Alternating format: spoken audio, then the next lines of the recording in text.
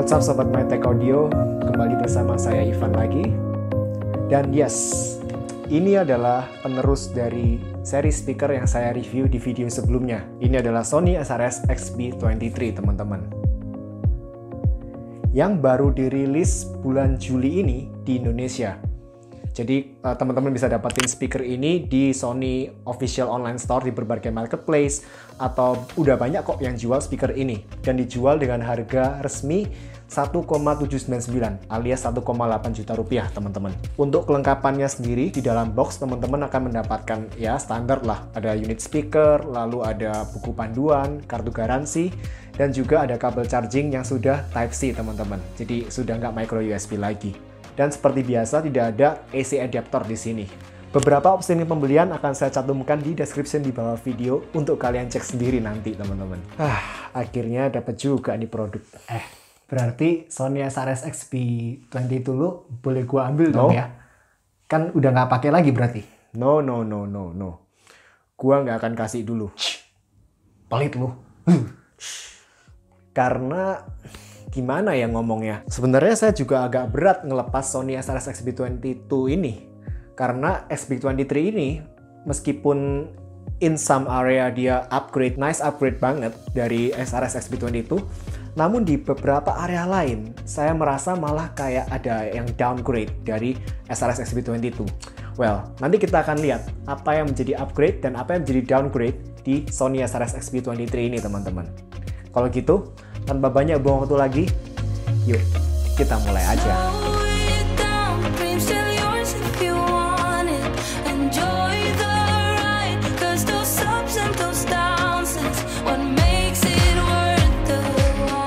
Dilihat dari build quality dan build materialnya sendiri, kita bisa lihat ya, Sony SRS XB23 ini terlihat cukup berbeda bila dibandingkan Sony SRS XB22 ini.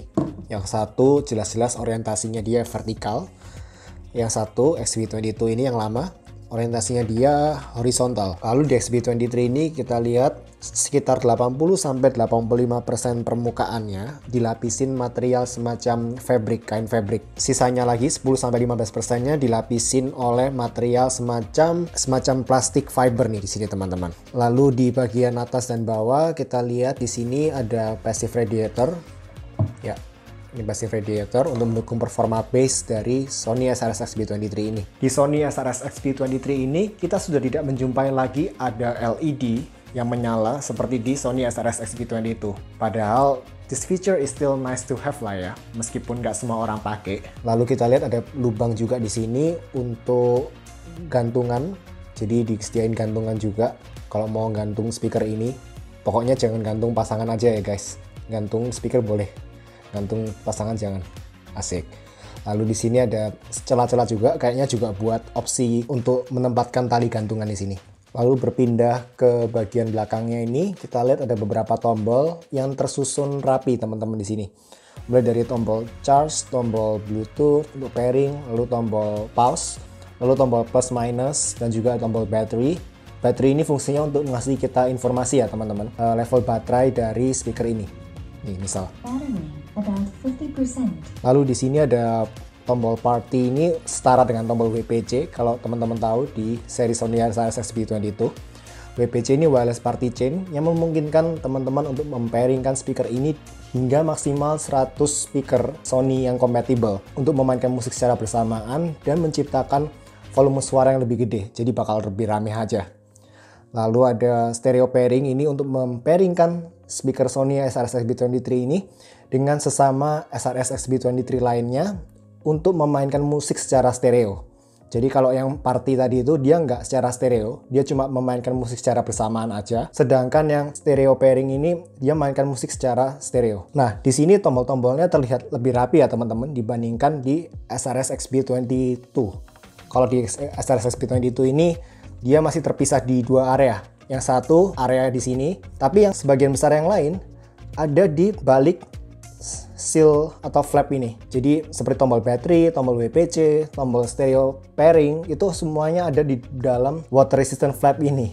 Jadi agak susah aja aksesnya. Lalu di bagian bawahnya ini ada USB Type C yang sudah upgrade dari micro USB yang ada di XB22. Yes, finally USB Type C di sini.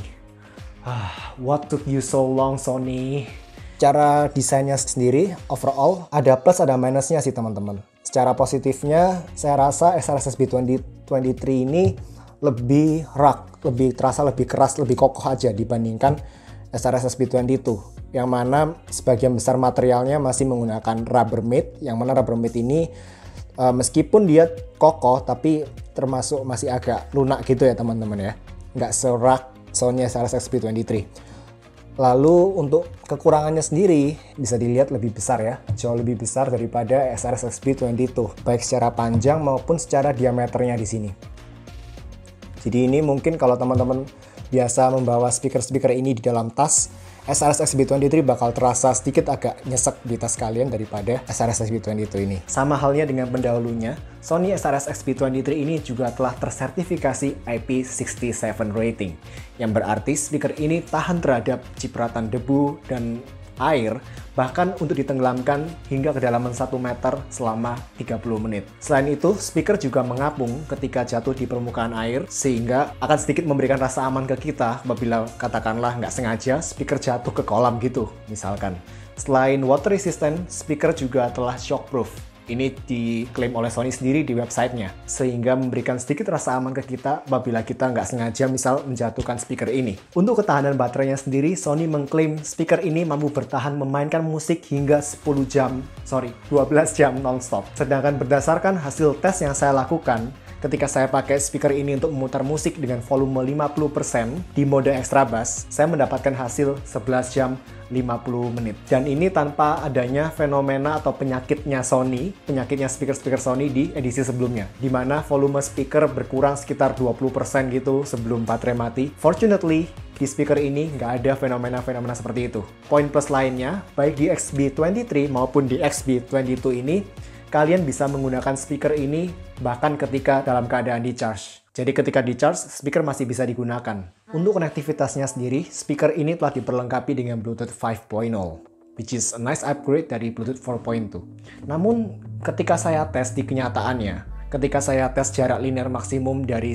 antara speaker dengan source audio di tempat terbuka, saya hanya mendapatkan hasil jarak terjauh sebesar 55 meter, teman-teman. Di mana ini nggak jauh beda sih dengan hasil dari Sony SRS XP22, teman-teman. Padahal sebagai perbandingan, speaker saya yang lain yang punya Bluetooth 5.0 seperti Lanya's S805 mampu memberikan range hingga 70 meter bahkan sampai 80 meter teman-teman di tempat terbuka. Secara overall konektivitasnya sendiri ada dua fitur di XB22 yang sudah tidak kita jumpai lagi di XB23 yakni NFC dan 3.5 mm jack teman-teman. Yes, tidak ada 3.5 mm jack di speaker ini. Aneh aja sih. Saya pelan-pelan bisa menerima hilangnya 3.5 mm jack dari handphone. Apple. Tapi ini speaker. Why? Cukup disayangkan aja sih, karena sekarang berarti opsi konektivitasnya tinggal tersisa Bluetooth semata. Lalu untuk kemampuan koneksinya sendiri, speaker ini mampu dikoneksikan dengan hingga 8 perangkat yang bersamaan. Sama seperti Sony SRS XP22 teman-teman. Namun, sama seperti XP22 juga, hanya dapat memutar musik dari satu source audio saja di saat yang bersamaan. Streaming video baik di YouTube maupun di Netflix aman-aman aja. Saya nggak mengalami ada delay atau lag latency sama sekali, baik di Samsung Galaxy Note 9 saya dengan Android 10 maupun di iPad saya yang sudah diupdate ke iPadOS.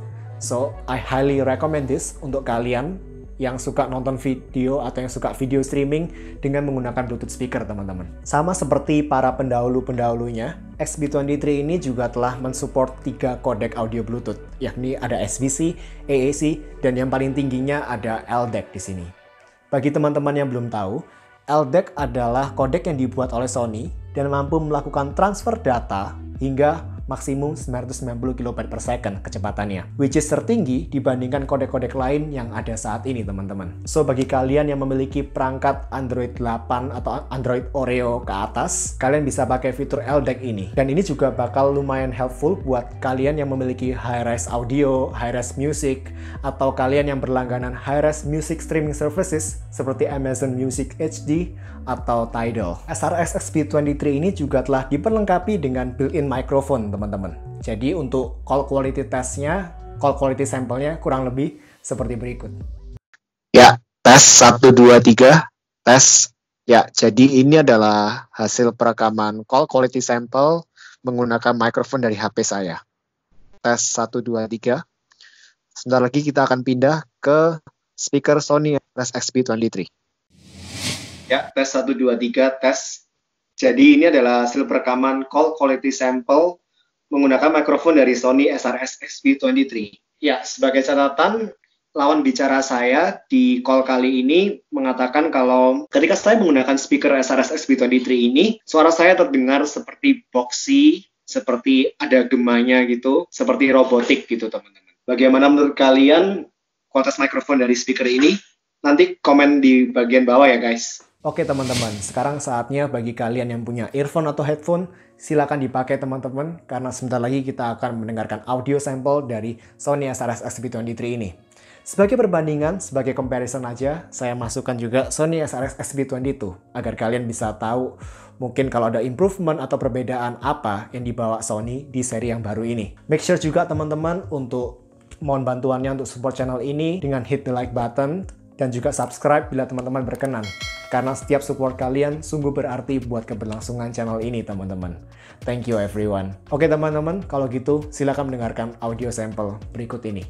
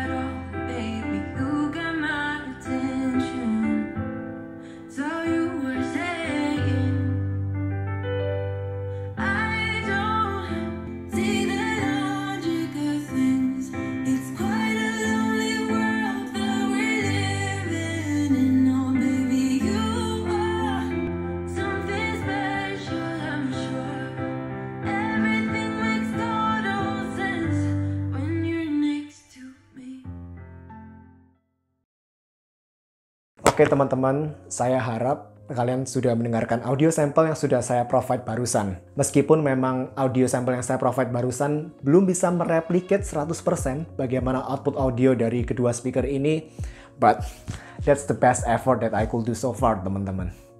Oke, dimulai dari volume. Saya merasa anehnya, volume dari SRS XB23 ini sekitar 10% lebih pelan dibandingkan XB22, teman-teman. Sebagai perbandingan, volume 70% di XB23 ini hanya setara dengan volume 60% di XB22. Namun, either way, both of them saya rasa sudah lebih dari cukup untuk dipakai di mayoritas kamar tidur atau kamar pribadi dan saya rasa juga sudah cukup untuk dipakai di sebagian besar ruang tengah atau di ruang tengah apartemen-apartemen ukuran PR atau ukuran studio teman-teman. Untuk audionya sendiri, man, Sony SRS XB23 ini boleh dikatakan membawa improvement dibandingkan XB22 dalam hal clarity, detail, kejernihan, dan keakurasian dari artikulasi mid-range seperti vokal maupun instrumen teman-teman. Namun jangan salah, saya masih enjoy kok output audio dari Sony SRS XB22 ini. Terutama ketika saya pakai untuk mendengarkan lagu-lagu EDM, future bass, hip hop, atau sebagian besar lagu pop teman-teman. Dan SRS XB23 pun dapat menghandle genre-genre yang saya sebutkan barusan secara excellent juga. Namun beda halnya ketika kita berpindah ke genre-genre tertentu yang membutuhkan tingkat akurasi yang tinggi, tingkat clarity yang oke, tingkat detail yang bagus. Seperti jazz, classical, atau orkestra. Di genre-genre inilah saya merasa XB23 dapat menghandle genre-genre tersebut lebih baik dibandingkan XB22. So, audio keluaran XB23 ini kalau boleh dikatakan dia cenderung sedikit lebih netral dibandingkan XB22. Namun tetap agak bassy ya teman-teman. Namun dia lebih sedikit lebih netral bila dibandingkan pendahulunya ini. Dengan proporsi dan keseimbangan antar frekuensinya, baik low, mid, maupun high, lebih balance lagi dibandingkan XB22 ini. Dari bass-nya sendiri, Sony SRS XB23 ini mampu memberikan bass yang menurut saya secara kedalaman sama dalamnya dengan keluaran bass Sony SRS XB22. Namun, bass keluaran XB23 dia cenderung sedikit lebih bersih, lebih terkontrol dibandingkan Sony SRS XB22. Bass dari XB23 ini terdengar lebih netral kalau boleh dikatakan. Nggak sampai beresonansi yang sampai gimana gitu, dan nggak dalam tanda kutip tumpah-tumpah gitu bassnya. Dia jadi kayak hit the bass-nya itu seperlunya aja, secukupnya aja. Nggak sampai yang thumping gimana gitu, nggak sampai yang over kayak di SP22. So ini soal preference aja teman-teman. Mungkin bagi kalian para bass heads, kalian lebih cocok, lebih suka dengan Sony SRS SP22 ini karena bassnya dia lebih thumping, sedikit lebih thumping, sedikit lebih beresonansi dibandingkan SP23. Namun bagi kalian para kaum audiophile atau kalian yang benar-benar mengutamakan tingkat audio yang super clean itu harus yang utama, maka output bass dari SB23 mungkin lebih cocok buat kalian. Namun overall, bass keluaran Sony SRS SB23 ini saya yakin sudah cukup enjoyable bagi sebagian besar casual listener teman-teman. Mid-range seperti vokal dan instrumen terdengar terartikulasi lebih oke, punya clarity yang lebih bagus, dan terdengar lebih bersih di XB23 ini teman-teman dibandingkan Sony SRS XB22.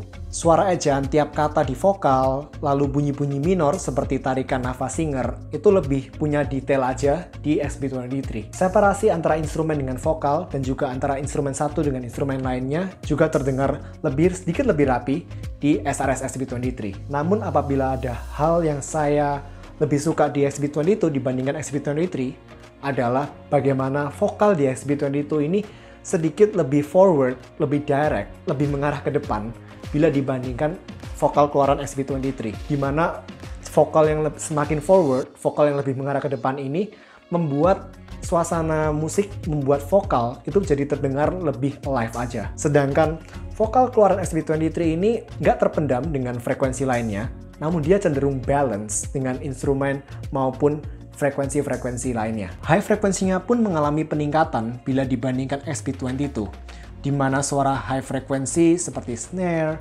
cymbal, bunyi S, dan sh terdengar refined, lebih detail, dan lebih keluar bunyinya secara overall bila dibandingkan XP22. Bila dibandingkan satu sama lain, konsonan vokal wanita suara tinggi seperti S dan sh itu terdengar lebih sedikit lebih kasar di XB22 dibandingkan XB23. Di mana di XB23 ini selain detailnya lebih oke, okay, namun konsonan suara S dan C itu terdengar lebih halus aja di telinga. Selain itu, improvement lainnya dalam hal bunyi snare maupun cymbal.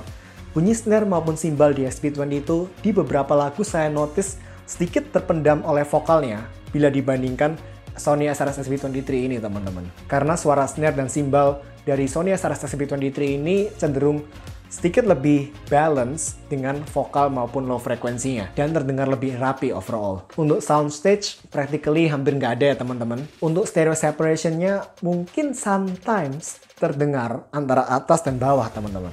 Ya, kalau kalian nggak tahu, speaker ini punya dual driver di bagian atas dan bawah. Namun in real life-nya sendiri, stereo separationnya nggak begitu terdengar teman-teman. Jadi don't expect too much. Juga di sini sudah nggak ada live sound fitur yang sebelumnya ada di SP22 karena mungkin saya rasa Sony nyadar sih Sony nge-remove fitur tersebut dari SP23 karena memang kayaknya nggak begitu ngasih efek yang berarti ke performa dari SP23 ini. Dan mungkin efeknya itu baru berasa di speaker yang lebih besar seperti di SP33 atau SP43 yang tahun ini masih membawa fitur live sound tersebut. So overall, untuk mengerangkum semua video yang cukup panjang ini, di akhir video ini saya akan menjawab pertanyaan sebagian besar dari kalian. Katakanlah kita punya budget 1,2 sampai 1,8 juta rupiah ini untuk membeli Bluetooth speaker dari Sony. Mana nih yang enaknya dipilih? Sony A7S SB23 dengan spek-spek yang terbaru, dengan update yang terbaru juga, atau mending hemat 600 ribu rupiah dan ambil produk tahun lalu, yakni Sony SRS SB22 yang harganya sekarang di angka 1,2 juta rupiah teman-teman. Well, kalau jawaban saya pribadi, saya mungkin akan lebih condong untuk ambil Sony SRS SB22 dan hemat 600 ribu rupiah teman-teman. Karena, well, alasan utamanya karena saya cukup mentingin value for money. Saya mungkin agak hitung-hitungan juga dalam hal beli speaker seperti ini. Dan mungkin karena agak pelit juga ya, seperti yang digambarkan di dialog di awal depan tadi. Tapi memang karena saya rasa speaker Sony SRS SB23 ini tidak membawa upgrade yang signifikan selain audionya dibandingkan SB22. Ya mungkin Bluetooth ya, Bluetooth 5.0 udahan ya. Lalu ada USB Type-C. Namun selain dari itu, tidak ada upgrade yang signifikan di area lainnya teman-teman. Bila dibandingkan XB22. Malah di beberapa area ada beberapa fitur yang dihilangkan dari Sony SRS XB22 ini. Seperti LED, 3.5 mm jack, NFC, dan live sound. Oke, saya akuin deh. NFC bukan faktor yang penting-penting banget karena kualitas pairing Bluetooth di masa-masa sekarang ini sudah jauh lebih bagus sehingga dia nggak perlu NFC lagi lah ya. Pairing dengan Bluetooth sudah jauh meningkat dalam beberapa tahun terakhir ini. Namun beda halnya dengan LED atau fitur pa- party booster yang menurut saya tetap aja kayak ah, nice to have that gitu loh. Kalau kalian belum tahu party booster itu seperti apa, ini mungkin saya juga lupa demoin ya di video SP22. Ini. Kalian bisa tambahkan perkusi atau drum atau apa pun.